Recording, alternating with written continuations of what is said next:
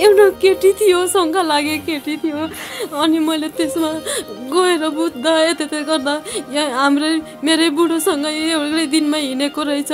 आठ बजे नै मेरो बुढो नौ गते बिहान आठ बजे हिँडेको हिँड्नु भएको थियो। अनि त्यहाँबाट त्यो दिनमा काम गर्ने बेला भयो होला कामबाट आउने टाइम छ होला भनेर म रातैभरि कुरेर बस्दा बस्दा आउनु भएन। त्यहाँबाट मैले त्यो केटी भाडा गएर बुझ्न लगाउँदाखेरि हिँडेको रहेछ। उसको माइती घरमा गएर हेर्दाखेरि पनि बुझ्नु पठाउँदाखेरि सबैभन्दा ठुलो आमा चाहिँको हात रहेछ। त्यो आमा चाहिँले भगाएको रहेछ खासमा जाँदाखेरि। त्यसकै त्यसले लिएर गएको हो भनेर भन्छ। अहिलेसम्म सम्पर्क केही पनि थाहा सर। उसको बिरामी थियो त अनि पायस भाथ्यो दुधी फेरि अपरेसन गरेको थियो दुखाइ थियो। खाना बस्नको त्यति अभाव थियो। अहिले विदेश गएर अलिअलि सामान जोडेको अभाव थियो। अनि मैले उसको दुःख मेरो बुढोको दुःख र मलाई दुःख पर्नु एउटै हो भनेर मैले विदेश गएँ बुढाबुढीको सल्लाहमा म विदेश गएको मेरो बच्चाले मलाई आमा भनिदिनु भन्न सक्ने पनि बोली पनि आएको थिएन मैले। त्यो अवस्था मैले बुढालाई नै मेरो छोरी छोडेर जाँदाखेरि अहिले चटक्क हाम्रो आमा छोरीको यत्रो बिजोको बनाएर गएको छ। नमस्कार दर्शकहरू सम्पूर्ण मिडियामा स्वागत छ। आज एकजना दिदी चाहिँ उहाँको श्रीमान हराउनु भएको रहेछ र श्रीमान खोजिदिनको लागि भन्दै हामीलाई फोन आएपछि हामी चाहिँ उहाँको यो घरमै आएका छौँ।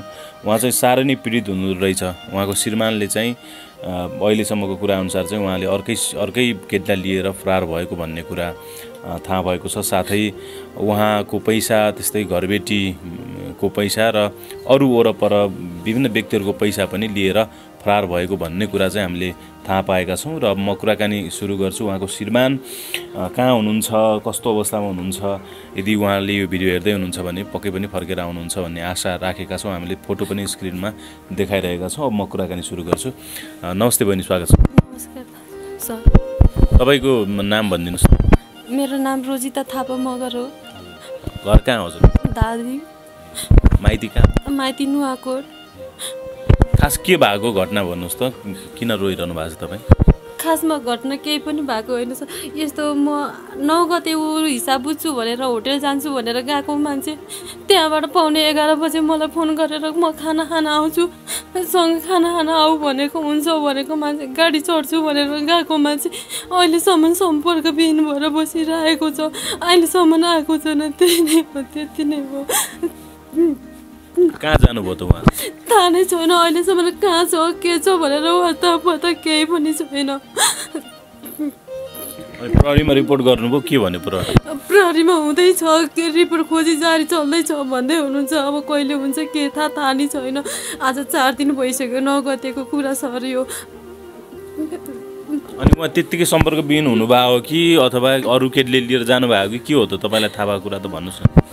अँ सर यसो अब लग्यो हो कि होइन एउटा के अरे एउटा। भन्नु त भन्नु।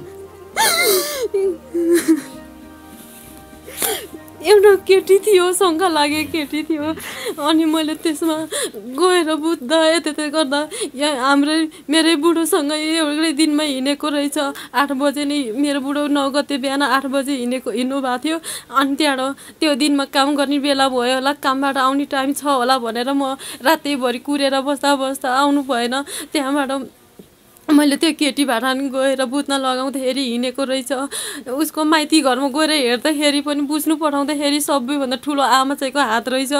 त्यो आमा चाहिँले भगाएको रहेछ खासमा जाँदाखेरि। त्यसकै त्यसले लिएर गएको हो भनेर भन्छ। अहिलेसम्म सम्पर्क केही पनि थाहा छैन सर।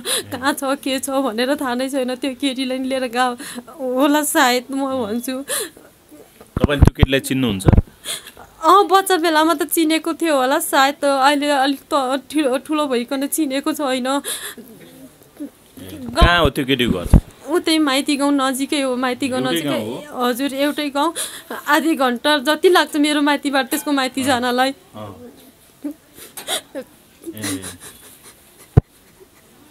अनि त्यो केटी चाहिँ कहाँ यहीँ काठमाडौँमै बस्थ्यो कि उता बाहिर थियो कि के थियो भन्नुहोस् त?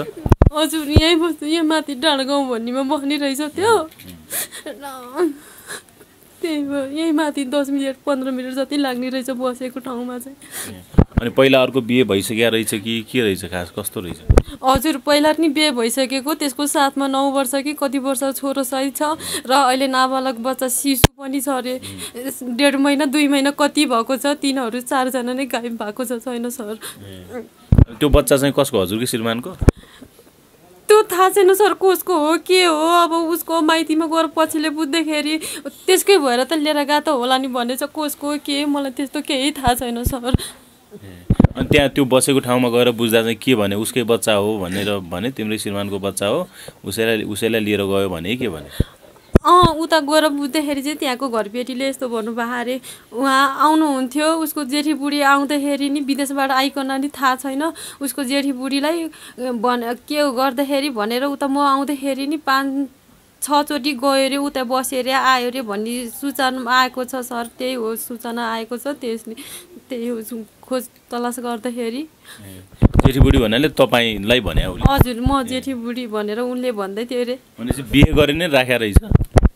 अब बिहे गरेर राखेर रहेछ कि गरेर राखेर रहेछ के त म बसेको रुम यही नै थियो। माथि बसेको रहेछ तिनीहरू मलाई त त्यो केही नै थाहा छैन सर।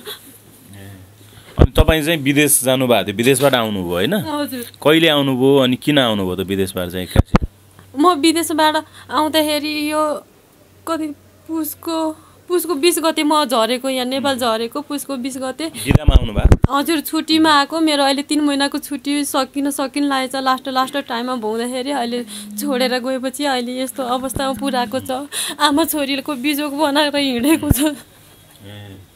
अनि विदेशबाट चाहिँ तपाईँ यही श्रीमानकै आशङ्काले गर्दा आउनुभयो कि के थियो?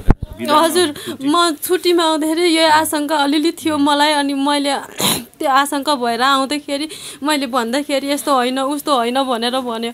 अनि मैले किन त एकैचोटि मैले प्रुफ भेट्न पऱ्यो नि त फेरि मैले हो भन्नलाई मैले प्रुफ नभेटिकन मैले बोल्ने कारण केही पनि छैन। अनि मैले त्यो हल्लाको पछि किन लाग्ने अब छैन भनेपछि भनेर म त्यत्तिकै बसेँ। अहिले म जाने बेला भइसक्दाखेरि मेरो टिकट काट्ने भनेर ऋण खोजेर लिएर आएको पैसा ए, पैसा त्यो पैसा पनि लिएर गयो?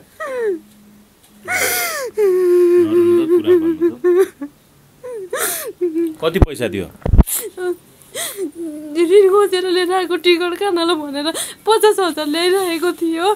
त्यो र अनि मेरो दुबईको पाँच सय दस रुपियाँ बोकेर गएछ सर त्यही हो।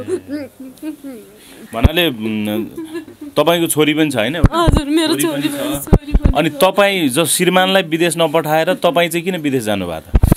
उसको बिरामी थियो त अनि पायस भाते हो दुधी फेरि अपरेसन गरेको थियो दुखाइ थियो खाना बस्नको त्यति अभाव थियो अहिले पो विदेश गएर अलिअलि सामान जोडेको अभाव थियो अनि मैले उसको दुःख मेरो बुढोको दुःख र मलाई दुःख पर्नु एउटै भनेर मैले विदेश गएँ बुढाबुढीको सल्लाहमा म विदेश गएको मेरो बच्चाले मलाई आमा भन्ने नि भन्न सक्ने पनि बोली पनि आएको थिएन मैले। त्यो अवस्था मैले बुढालाई नै मेरो छोरी छोडेर जाँदाखेरि अहिले चटक्क हाम्रो आमा छोरीको यत्रो बिजोको बनाएर गएको छ। भन्नाले उहाँलाई समस्या उहाँले कामन सक्दैन भनेर तपाईँ विदेश जानुभयो। यहाँ चाहिँ अर्कैसँग लाग्नुहुन्छ होइन हजुर।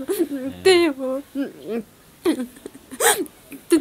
पहिलेदेखि नै आशंका थियो तपाईँ विदेशमै हुँदा यस्तो गर्नुहुन्छ भन्ने आशंका थियो तपाईँलाई? विदेशमै हुँदा चाहिँ म त्यो आशङ्का हुने बित्तिकै म आइ आएकै हो सर म छुट्टी माग्ने बित्तिकै मलाई छुट्टी दियो म आएको अलिअलि आशङ्का थियो अब के अरे अब त्यो हुँदैन राम्रो हुन्छ भने आफ्नो बुढालाई किन बिग्रिनु दिनु भनेर म आएँ अनि मलाई म आए पनि बिना प्रुफ त मैले यस्तो गरेँ उस्तो गरेँ भनेर मैले कारवाही गर्न त सक्दिनँ नि त म त फेरि।